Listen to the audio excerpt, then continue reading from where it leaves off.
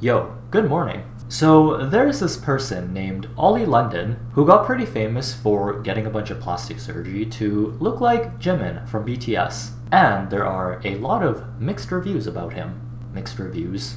What? Why am I speaking like he's like an Amazon product? There's just a lot of opinions surrounding him and his entire existence. Personally, I think that he was manufactured in a lab just for the purpose of entertaining us. Probably like if Asian people were asked what they think a Koreaboo looks like, uh, th- this is what they would think of. He is a very interesting person and he's done a lot of questionable things that a lot of people have commented on. And because those people commented on the things that he's done, he decided to make a diss track on all, all of them, including me. But we'll get to that in a little bit. But all I know is that he is goddamn freaking entertaining. He's literally on my TikTok for you page every single day. Uh, not by choice. Like, it literally shows me his face every single day. Because the TikTok algorithm shows you what you like. Uh, do I like this stuff now? Oh no. If you've never seen any of his TikToks, uh, here, let's look at some together. You got me. You got you.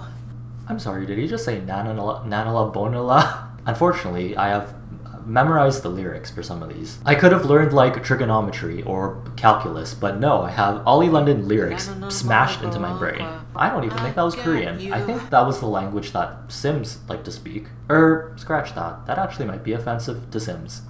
But yeah, Oli London TikToks in a nutshell. Anyways, me and Oli have a bit of history together. Here, let us dive into some Edvasian Oli lore. So in 2020, Edvasian decided to draw Oli London some fan art. Mind you, it wasn't good fan art, but I tried my best, so nonetheless, it was still fan art for Oli London. And I sent it to him on Twitter, not really expecting to get acknowledged. The fan art looked like this, so yeah, I was a little bit nervous to get notice for this. But by some sort of miracle, I was able to get the attention of the legend himself. And I even got a compliment on my fan art, I think.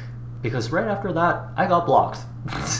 I don't know, man. Oli, you were sending a lot of mixed signals back there. Sort of like Asian parents, are they able to show human emotions or not? But after that interaction, I was just left very confused. But don't worry guys, the story does have a happy ending. Because by some sort of miracle again, we were able to squash our beef by literally not acknowledging the situation at all, and by me drawing him some more fan art, even though I got blocked for the first fan art. Hey, I wasn't blocked on Instagram, so I was like, hey, another way to annoy? No wait, to show my appreciation. Which he also acknowledged on his Instagram. So like what happen. You ever feel like 50 emotions at the exact same time? Well, that was me for those past two days. And then, ta-da, I got unblocked.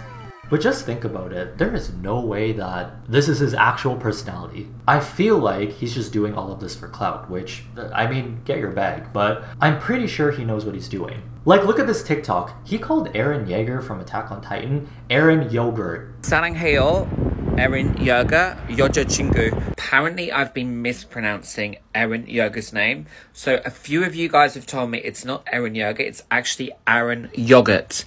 Pardon me, anime isn't boys named after dairy products. What is this? I think I've just come to the conclusion that Oli London has 1500 IQ. And he's big braining all the people that think they have bigger brains than him by doing all this stuff to get attention. And people are literally feeding it to him, like uh, with a spoon. And I'm literally doing it as well by making this video. Oh well, I needed something to do during the week, so we'll just call this a fun experiment. The only way that my brain can make sense of this is knowing that this is not real and he's just playing some sort of character. Unless it's not. In that case, I have nothing to say. I will I will just be over here, minding my own business.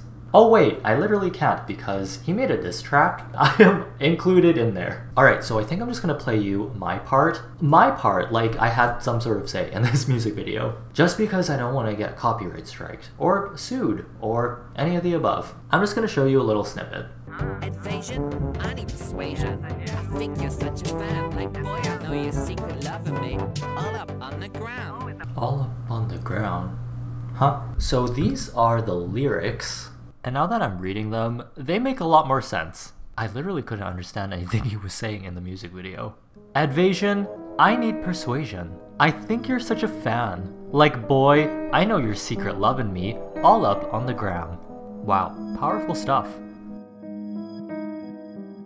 Also, isn't that the wrong your? Oh no, Oli, how much did you spend on this music video? You should have invested into like Grammarly or something. but there you go, that was my deep dive into Oli London's diss track. A lot of creators in this video made their own video about it, so if you want to check them out, they probably have a better perspective of what they think about their own part and maybe like the other people. Alright, so I think that the only thing to do after subjecting myself to this music video is to draw him some more fan art as a thank you present. I've never been in a K-pop idol music video before, so I'm very honored. The only way that I can thank him is with more fan art. I think we'll just call it an anniversary present for when we first met. Aw, the good old days. I actually don't know if I'm blocked on anything, but hopefully he notices this time. Nice to see all of you at a good old 11:21 p.m. for me. Yes, we're doing another art stream, another unhinged late night art stream. I'm gonna start drawing Mr. Oli London. So I like to use Sharpies because with Sharpies, you cannot go back and look on your mistakes, which is perfect for when you were bad at drawing. Let me find Mr. Oli London. Let me find a nice picture of him that we can use. I think he's gotten like better looking. This was him like back in the day. Okay, Oli London. Okay, that's actually not bad. Okay, a little piece of hair here.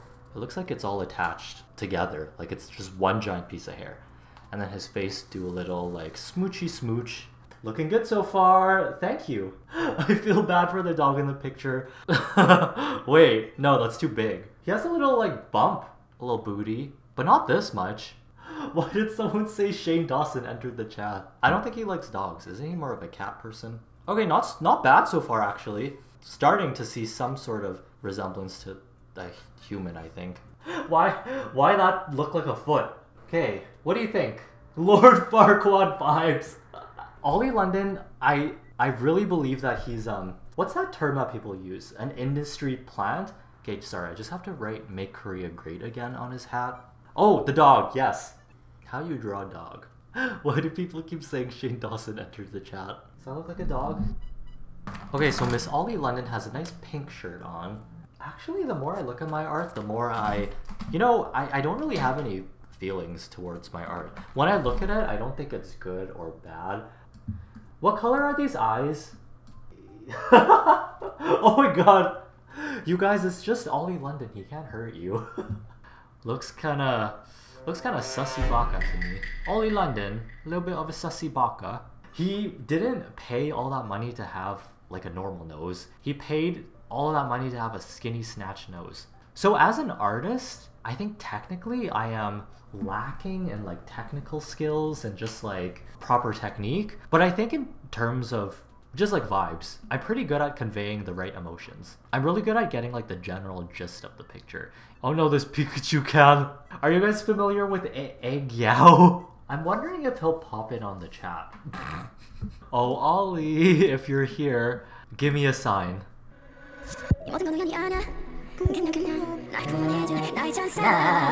oh my god. Anyone see Oli here? Is the neck wrong? I think the neck's, ne- neck looks right. Because there, when you have a neck, it, it's under your face, so it there should be like shadow, right? So it should be darker. I think the neck is fine. What what are you talking about? Should I make this Pikachu into an emote? I think that would be really funny. What have I done? Okay, well, that was kind of fun. After drawing, it was time for another attempt at making contact with Mr. Oli London. Okay, so here's what I tweeted. And here's what I posted on my story.